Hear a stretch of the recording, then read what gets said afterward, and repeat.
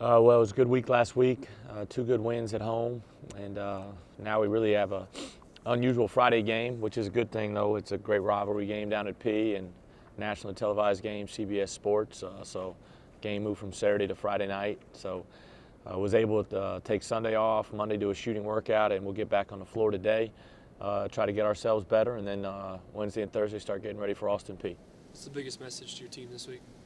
Uh, just win today. Just try to be good today. Let's go one and zero oh today, uh, and that's with practice, class, and everything, and be the same thing tomorrow. Talked about you know take a little synopsis of the team when you get to seven and one. If you got to seven and one, you're there seven and one now. So give me your thoughts about how you guys have done this first part of the first half of the OVC season. Imagine not eight and zero oh now when you're seven and one. So, uh, but you know, you know.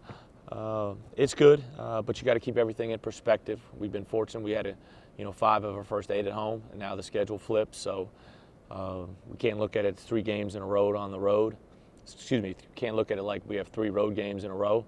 Uh, it's a week at a time, and the only game this week is at Austin Peay.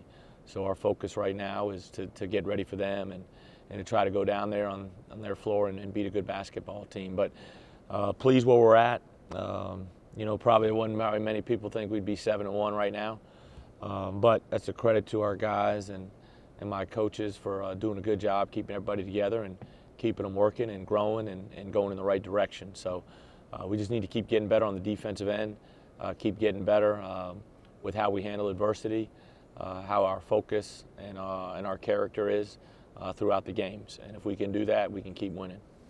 How the guys respond to the one day at a time mentality and that approach? Uh, I think pretty good. I think pretty good. I mean, we just started it last week, so uh, so I, th- I, think they've been good, and I'm just going to try to hammer that home as much as we can uh, because you have to be good every day, and you have to be good every night. You can see it. It doesn't matter the conference. Um, you know, you know, Eastern Illinois wins at SEMO. Uh, Tech goes to Belmont and has a shot to win at the buzzer. You know, it doesn't it doesn't matter. You can win anywhere. You can get beat anywhere. So you have to be focused and, and ready to play, and um, and that's how league play is. SEC, OVC, regardless. What are you better at that might surprise you right now that you didn't think you'd be as good at team-wide? Well, the things we struggled at uh, in the non-conference, we, we got dominated on the glass. Free throws were terrible. Uh, didn't, you know, weren't shooting it particularly well, you know. But if you look at our conference stats, our free throw stats are terrific. Uh, percentage is 69. You wish that would be above 70, but just the amount of attempts compared to our opponents is great. That means you're doing the right things offensively, and then defensively you're being pretty disciplined because foul trouble was a major issue for us early in the year. Uh, rebounding, you know, we were getting dominated. We're plus seven, plus eight almost. Uh, we're doing a better job taking care of the ball at times, and we're averaging right at 80 points a game. So, um, you know, we're doing some good things, but at the end of the day, you, you, are a better offensive team if you're a really good defensive team. And if you're not a good defensive team, I think you always find yourself in, in tough spots to win.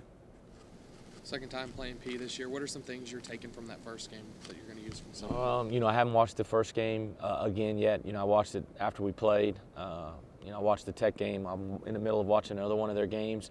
Uh, I'll either watch their game uh, tonight or, or, or, first thing in the morning before we start practicing for them. So, um, you know, I, I don't have a, enough information to really answer that. But you know, I know Horton got in some foul trouble.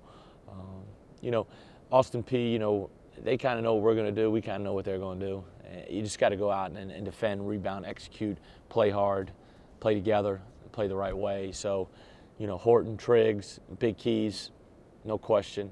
Uh, two of the better front court players in our league. Uh, Betran, uh, one of the top scorers in our league. And then you know D.D. Smith, he didn't play against Jacksonville State, and that was a big, that was a uh, that was a big concern for Peay. And uh, he was back, played 40 minutes against Tech, and uh, was really good for him. So, you know, between Xavier and D.D. and uh, and Betran, and then the two bigs, and, and um, you know, and then Dyson played well uh, the other day. So, you know, they've got a core six, seven guys uh, you have to be ready for. Jarvis kind of talked about with the early start with Tech, they kind of know what kind of mindset they have to get in when things are changed. He talked about that, how using that on the road. How do you help with that, or how? What have you heard the guys talk about? They know that they have to get each other's energy ready to go when they get on the road. yeah, I just think that comes from daily preparation and daily focus and talking to those guys. Um, you know, we have to. We, we didn't do a great job on the Illinois trip, uh, first half at Eastern Illinois, being really focused. Um, the ball over too much unca- un, unforced. Uh, second half at Eastern Illinois, we were very good. Uh, up at Edwardsville, you know, at spots in the first half, we were very good, but you know, we didn't we didn't have our so-called our eyes up and our focus wasn't right, and uh, we let the game get away from us uh, from all ends. So uh, that's the biggest thing that we have to, you know, energy and the hype and all that. That's only going to take you through pregame warm-ups. You better defend. You better rebound. You better be able to handle adversity. You better be able to handle the heat and the crowd down there. Uh, you can't hear anything down there. I mean, you just can't. I've been down there 87 times, so um, you know. So, but it's a fun place to play. I know that. Talk about the growth, really, even in the last four games of uh, Fairell, just how well he even played uh, the, the two road games. Yeah, he's the last two weeks. I think him and Jeffrey Moss both have played really well and and, and, and, and really started to grow up a little bit. But it takes taken Fairell a while, uh, but we've been able to stay with him and stay the course with him, and you know he's finally starting to get into some shape. He's moving better. He's playing a little bit more, a lot more aggressive and a lot more physical, and he's not getting those bad fouls. He got him at Edwardsville. Uh, you know, sometimes you know we go back and watch the tape. He didn't do anything, uh, but you know it's just some some tough calls, and you know we need to keep him on the floor. He's done a good job, uh, especially Peay. You know, Peay's going to play big, and uh, they they throw some different post guys at you. So, I'm really proud of um, you know his effort and his focus, and made five out of seven free throws, so that was huge too. And is it good? It's just one game this week. You focus a lot on Peay, and then focus on the trip next week.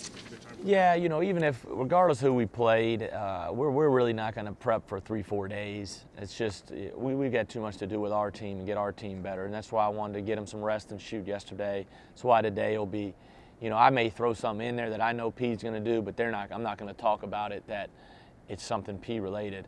Uh, and then Wednesday and Thursday, when we get into our pre practice, our breakdown stuff, into our shell actions, then we'll start uh, working on Austin Peay.